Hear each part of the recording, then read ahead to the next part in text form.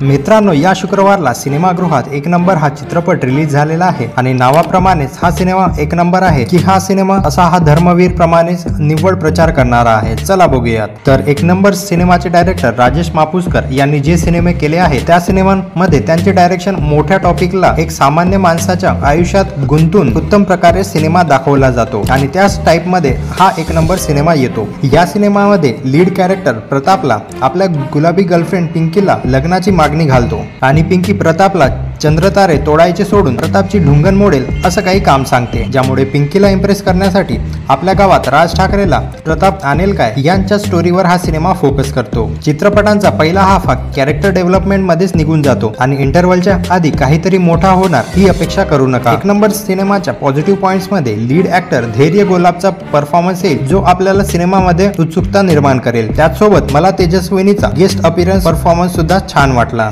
या सिनेमाचा सगळ्यात मोठा पॉझिटिव्ह पॉइंट आहे. अजय अतुलचा म्युझिक जे आपल्याला सतत स्क्रीनवर सिच्युएशननुसार एंटरटेन करते. त्यानंतर मूवीचा क्लायमॅक्स सुद्धा काहीतरी नवीन करायचा प्रयत्न करतो. हा फक्त प्रयत्नच करतो. पण ते फारसे ऑडियन्सच्या मनात आपेल का? ते बघणे इंटरेस्टिंग राहील. आता मूवीच्या त्रुट्या म्हणजेच निगेटिव्ह पॉइंट्सबद्दल बोलूयात. तर सर्वप्रथम हा चित्रपट महाराष्ट्राच्या राजकारणात ज्या लोकांचा काहीच रस नाही त्या लोकांना हा चित्रपट थोडा बोरिंग वाटू शकतो. मी एक नंबर या चित्रपटाला पाच पैकी तीन स्टार देणार आहे. म्हणजेच एक असा चित्रपट जो निव्वळ प्रचार सोडून काहीतरी नवीन ट्राय करतो. करतो. तर मित्रांनो हे होते माझे विचार. एक नंबर या सिनेमाबद्दल. जर आपल्याला अशाच मराठी सिनेमांचे रिव्ह्यू पाहिजे असतील तर माझ्या व्हिडिओला लाईक करा. आणि हो तुफान मराठी कंटेंटसाठी सबस्क्राईब करा.